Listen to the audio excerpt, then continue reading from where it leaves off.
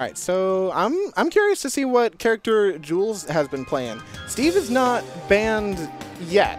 Yet.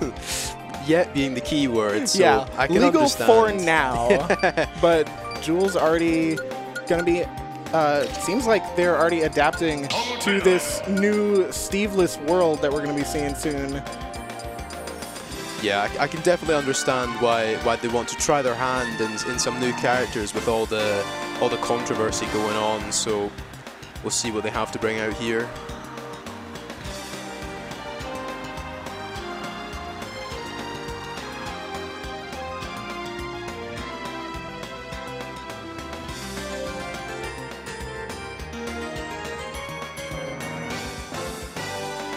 Eventually.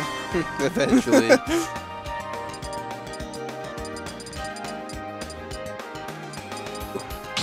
Okay, gonna be seeing some Min Min. From Steve to Min Min, quite the quite the switch.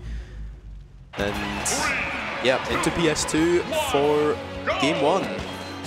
Yeah, PS2, definitely a very good Min-Min stage. You know, the biplats, especially PS2, gives uh, like zoner characters like Min-Min such amazing coverage, but you can already see the adaptations coming out from Gen, starting things off by putting an explosive flame right underneath that PS2 platform and putting Jules in pressure. Yeah, wow. Massive damage eventually leading to that edge guard scenario, and then the stock just played very, very well there by Gen uh, to secure that first stock. And we'll see. Oh, getting a grab. Yep, pivot grab coming out now. Uh, Jules trying to set up some more ledge pressure, utilizing the top hit of that neutral air. Still has, okay, no, I believe the Dragon Laser is offline. Ooh, Yeah, but another grab, sending it right back up into the kill. Yeah, from, from one super early stock to another, and now we're pretty much even. Um, we'll see who's able to, to take the lead now. And another bit of big damage there from Gen, 62% now onto Jules. I love that extension off of the explosive flame. Very stylish stuff from Gen coming out. Yeah, 100%. But Jules not content to just sit there and take it. They want to give out some damage of their own. And big stuff there. Yep, trying to use that electroshock arm to try and cover the high recovery from Gen, but not quite working out. Yeah. Gen now with the stage control and gets that grab because of it. Yeah, great wait out there on the air dodge and secures the stock with the back air. Ooh, see Jules trying to fight her way in. Once again, using those forward airs, but really gotta, really gotta space yourself well against Gen. All right, the, all right, the up smash gonna be catching things, and Jules bringing things right back to even once again. Yeah, it's been stock after stock after stock. It hasn't really been even the whole game. It's just been from one massive advantage state to the next. And this could be Jules. Yep, right now it kind of looks like Jules' turn to play the video game. Yeah, definitely. But Gen able to get a couple of neutral there into the two up airs. Not quite able to catch that air dodge though, and Jules able to make it back to stage. That wide uh, hitbox of the up air, catching Jules, trying to dare out of disadvantage. Oh, but the teleport on stage, Jules not quite in position to capitalize on it. But Gen very close to death right now. Jules looking to close things out. The electroshock Nair not going to be doing it just yet. Yeah, not just, but Gen seems to be stuck at this ledge, just able to make it back with the weak hit of that dash attack. What a parry, but Gen not able to find anything out of it. Yeah, And yeah, just walking forward with that electroshock arm, Jules able to take game one over Gen. Yeah, just um, after that super early stock getting taken, um, it, it seemed that you know Jules might not be able to make her way back into the game, but really great job of just pushing that advantage state to the extreme and you know securing the socks where it mattered. Yeah, just a, a very back and forth game one. Yeah, definitely. Um, definitely two very like advantage state characters, especially Palutena, because you know you've got all those uh, pretty much all of her moves connecting to each other.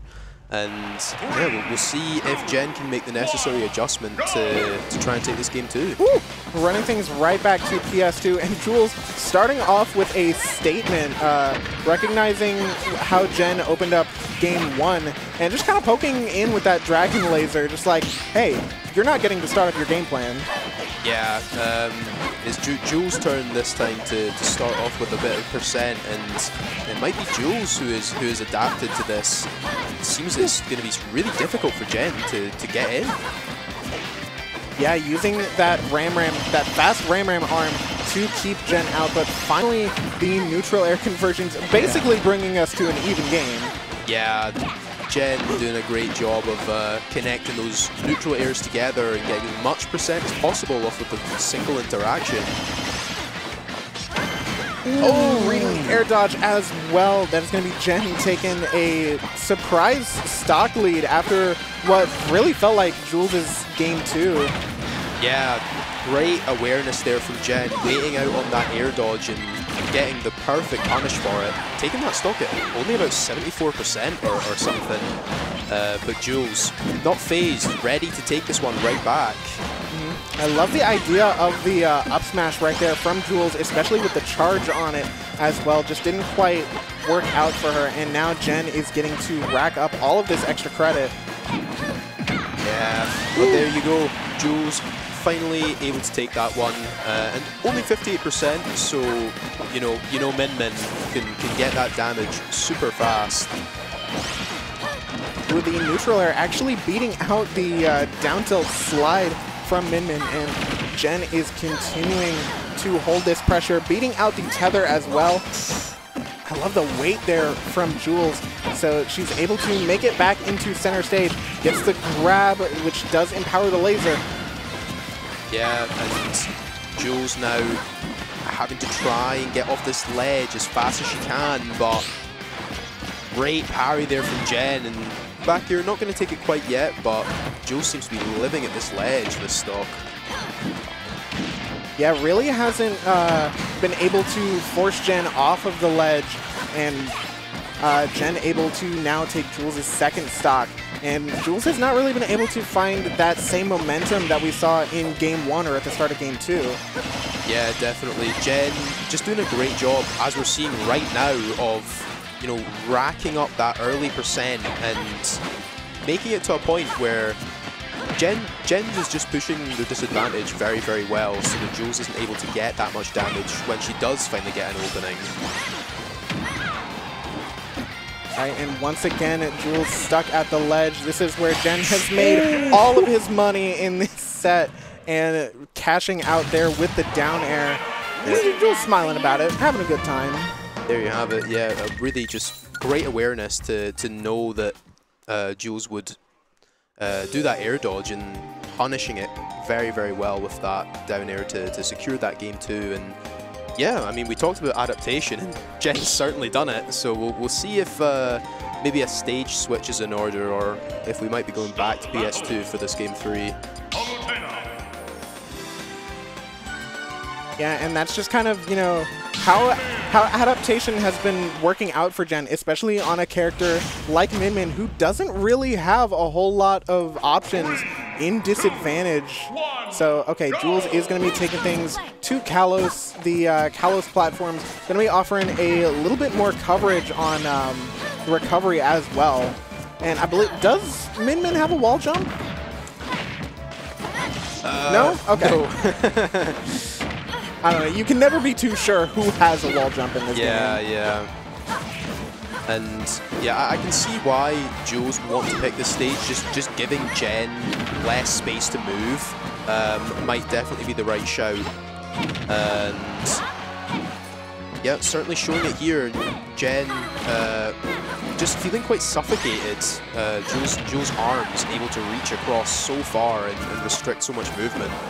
Yeah, Gen was making great use of the PS2 platforms in the previous two games to find his way around the uh, the arms, but with those options taken away, Gen is going to have to make some new adaptations to find his way in. Instead, getting stuck a little bit at the edge with the uh, Kalos platforms. But the down tilt into back air, not going to be taking it quite yet. And I love the um, the early use of the up from Jules, just getting that little that little hop to mix up your recovery. Because you know when you're a character like Min Min who has so few mix-ups, you got to use what you can. Yeah, of course. Um, just just goes to show that you know it, it can. It, when, when it comes to a character like Palutena who can edge guard so well, you need to you need to be able to make those little adaptations in your recovery just to help you from not dying. But that uh, that side will will definitely take the stock there, and back to an even game. Just got caught with like the very last tick from the explosive flame. Jules unfortunately giving up a pretty good early stock lead with not too much extra credit on the board. And using the speed of Palutena to uh, just dash under all this aerial pressure from Jules. Yeah, Jules was maybe getting a, a little too uh, trigger happy on those arms, and Gen just able to run right underneath them uh, and get a bit of that extra damage. But Jules now not quite able to continue the, the terror on stage as Gen comes back with a lovely back. Woo. Yeah, Gen with some amazing patience on the Kalos platforms because you know when you're on that platform, it's so tempting to want to just kind of jump your way back into center stage.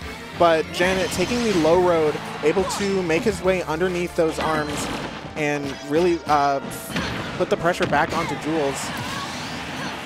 Down throw into back air, going to be putting Jules now on her winner's side stock. Yeah, very, very, very good patience here from Gen. It can be, as you said, it can be so tempting just to run straight at Min Min, but Gen waiting for their turn and Ooh. getting very well rewarded for it. Invincible back air just beating out the electroshock arm. And now Jules is stuck at the ledge once again. A good neutral air to try and reverse this situation. Shield's looking pretty low from Gen. Has to jump out of shield. Yep, getting that neutral air. Big damage now. A lot of extra credit here packed up for Gen. And Jules gonna need to be securing this stock very soon if she wants to be able to make a comeback into this game and into the set. Yep, 74% on Jules right now, and Gen is really making her work for this second stock, still not dying to that uh, electroshock arm. Yeah, Gen just doing a great job of living as long as possible, still not dying. And uh, yeah, Jules doesn't look it, but there you go, taking that one. 74% on Jules though, it's going to be a bit of a hill to climb. But if any character can do it, it's definitely Min Min. Absolutely. That being said, though, the neutral air from Gen starting things up and getting to just getting to play Gen's game once again. These ledge traps, and I think no, uh, Jules is going to be making it back. I always underestimate that uh, tether recovery from Min Min. Yeah. Oh no.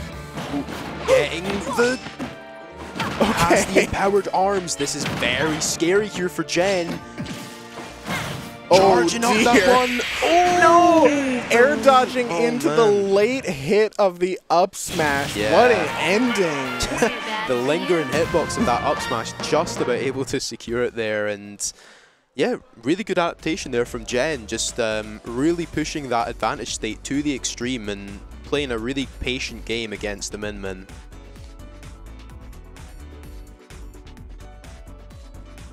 Yeah, very good stuff. And that is going to be Gen moving on to fight Zamba in winner's semis. And I believe next up we have our final winner's quarters match of the evening in Karflo versus Gatsby.